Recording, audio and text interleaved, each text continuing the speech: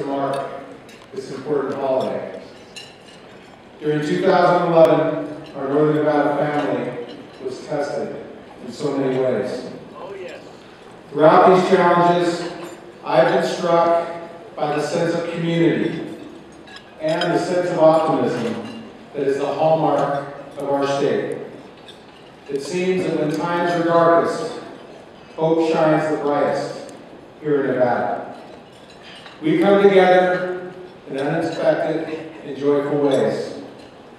It's like Reverend King himself said, darkness cannot drive out darkness. Only light can do that. Hate cannot drive out hate. Only love can do that. Ladies and gentlemen, the spirit of Dr. King is alive and well, and the Nevada family exemplifies his beliefs. We are on the move again, and I've said it before that if Nevada was a stock, I'd buy it now. Thank you. I'm optimistic about our future because I've seen firsthand what Nevadans can and will do in time of crisis. As we pause tonight to reflect on the legacy of this great American, we can do so with pride in the examples of how the content of our community's character lives up to his dream.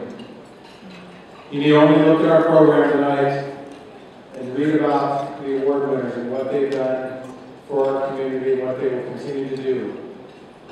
It's such an inspiration for me. So with that, ladies and gentlemen, thank you for being here tonight. Thank you for all that you do in our community in our state.